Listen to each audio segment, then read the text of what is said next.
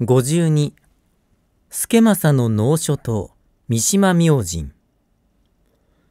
厚年の少々の子なり。助政の第二。世の手書きの上手。任果てて登られけるに。伊予の国の前なる泊まりにて。火意味中あれ。海の表あしくて。風恐ろしく吹きなどするを。少し治りて遺伝としたまえばまた同じようになりぬ。かくのみしつつ日頃優れば糸怪しくおぼして物問いたまえば神の恩たたりとのみ言うに去るべきこともなし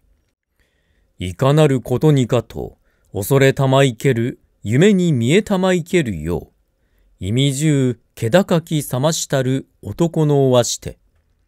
この日の荒れて日頃ここに下手もうは己がしはべることなりよろずの社に学のかかりたるに己がもとにしも亡きがあしければかけんと思うに鍋ての手してかかせんが悪くはべれば我にかかせ立てまつらんと思うによりこの折ならではいつかとてとどめ立てまつりたるなり。とのたもうに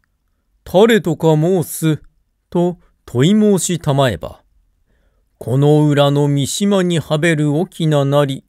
とのたもうに夢のうちにも意味中かしこまり申すとおぼすに驚きたまいてまたさらにも言わず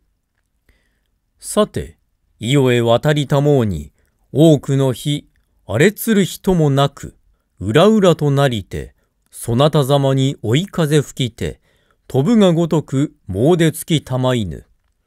ゆたびたび編み意味中消災して気を回りて日の装束してやがて神のお前にて書きたもう。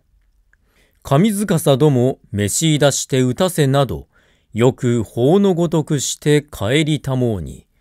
つゆ恐るることなくて、スエズエの船に至るまで平らかに登りたまいにき、我がすることを人間に褒めあがむるだに、今日あることにてこそあれ、まして神の御心にさまで欲しくおぼしけんこそ、いかに御心おごりしたまいけん。